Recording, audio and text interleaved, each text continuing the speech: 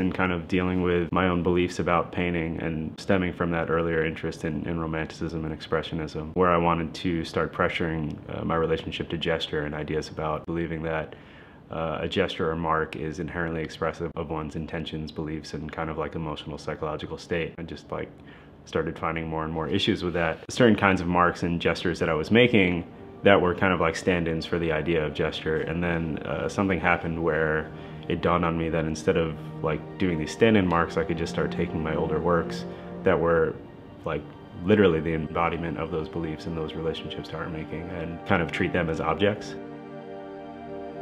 And I think that would be where they kind of segued from just being paintings to being these kind of, you know, whether they're three-dimensional physically or three-dimensional as in like two dimensions and then like time being a dimension that you translate onto it. For whatever reason, you know, subconsciously, whatever, was just like, oh, instead of like making this mark as a symbol for this belief structure, this relationship to mark making and, you know, ways of thinking about painting, taking the actual paintings and being like, all right, this is an object that I can act upon. This is something that I can like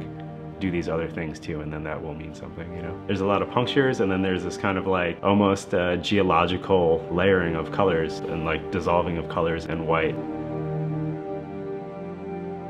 and the color choice is something that relates back to more of the ideals of what I wanted to accomplish in the previous paintings and kind of like my favorite part, which are just these beautiful neon, glowy kind of fades that relate maybe to sunsets, maybe to like some kind of unrealized new age utopia. And then that's layered again underneath white paint and then sanded and then the process is repeated until it gets to a place that I feel is like reasonably enjoyable, I guess.